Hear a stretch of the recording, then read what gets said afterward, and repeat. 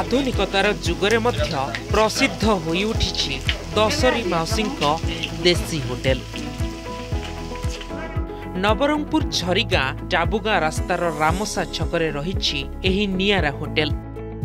ବିଗତ ତିରିଶ ବର୍ଷ ଧରି ଏହାକୁ ଜୀବିକାର ମାଧ୍ୟମ କରିଆସିଛନ୍ତି ସତୁରି ବର୍ଷ ବୟସର ଦଶରୀ ମାଉସୀ।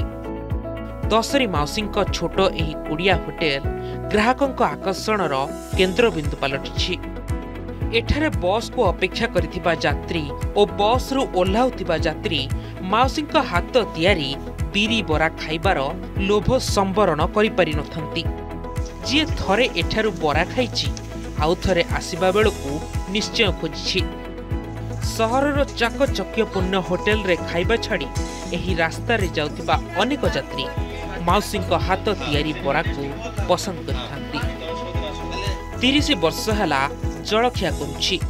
ଗ୍ରାହକଙ୍କ ମୁହଁରୁ ପ୍ରଶଂସା ମୋତେ ଏଭଳି ବୃତ୍ତିରେ ରଖିଛି ବୋଲି କହିଛନ୍ତି ଦଶଣୀ ଦଶରୀ ମାଉସୀଙ୍କର ହୋଟେଲରେ ଟିକେ ଭିଡ଼ ଲାଗିଛି ଖାଇବା ପିଇବା ପାଇଁ।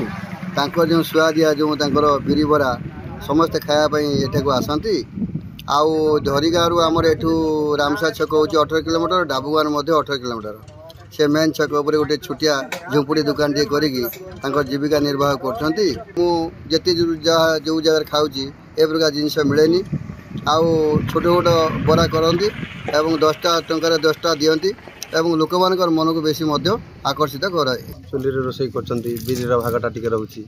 ଟେଷ୍ଟ ଲାଗୁଛି ଆସେ ବେଳେ ଖାଇକି ଯାଉ ଗୋଟେ ଅଲଗା ଟାଇପ୍ର ଲାଗୁଛି ଆଉ ସ୍ୱାଦ କେମିତି କ'ଣ ରହିଛି ସ୍ୱାଦ ଭଲ ଟେଷ୍ଟ ଅଛି ଆଉ ଟେଷ୍ଟ ସ୍ୱାଦ ନଥିଲେ ଆଉ ଆମେ ବଡ଼ ଜାଗା ଛାଡ଼ି ଛୋଟ ଜାଗାକୁ ଆସିବୁ ପାକଳି ଗାରି ପିଆଜି ସବୁ ରାନ୍ଧବାର ସରିଲେ ତ ଏତେ କ'ଣ କ'ଣ ଜାଗା ନୁ ଲୋକମାନେ ଆଇକରି ଖାଇବା ଜରି ଗାଁରେ ଥାନା ବାଲା ଆସିକରି ପୁରୀ ଯିବା আদা লসুন তো মিশে বাড়াই চাটনি বাটলে সিল টানে নে আম সিল টানছি তৈয়ার করব যে ফিন্দ্রে ওটা নুয়ে কই নুয়ে সব তো বলাই বলবাই কেন্দ্র লাগুয়াল কেনে নন লাগুয়াই বল নাই ଦଶରୀ ମାଉସୀଙ୍କ ଦେଶୀ ହୋଟେଲ ପ୍ରଚାର ପାଇଁ ଏଠାରେ ସାଇନ୍ ବୋର୍ଡ ନାହିଁ କି ବସିବା ପାଇଁ ଚେୟାର ଟେବୁଲ ନାହିଁ ଖାଦ୍ୟ ଖାଇବା ପାଇଁ ଦାମୀ ପ୍ଲେଟ୍ ଓ ଚାକଚମକ ଆଲୋକ ପରିବର୍ତ୍ତେ ଏଠାରେ ପତ୍ର ତିଆରି ଠୋଲାରେ ପରସାଯାଉଛି ଖାଦ୍ୟ ଅଧା ତିଆରି ମାଟି କାନ୍ଥ ଦେଇ ପ୍ରବେଶ କରୁଛି ଆଲୋକ ଓ ପବନ।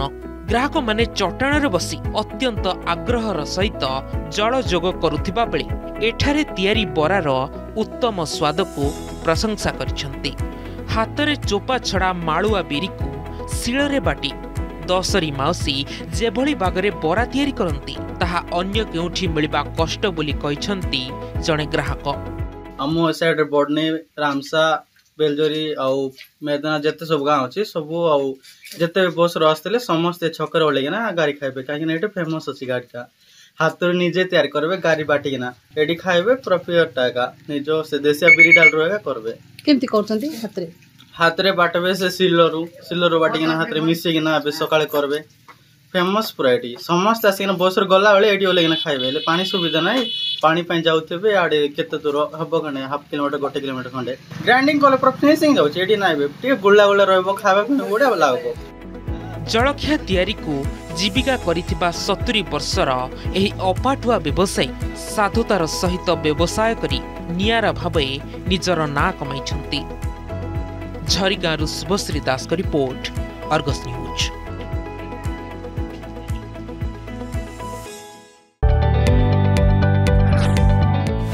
जदि आपण को आम भिडी भल लगा तेब आम चेल्क लाइक सेयार और सब्सक्राइब करने को जमा भी बुलां नहीं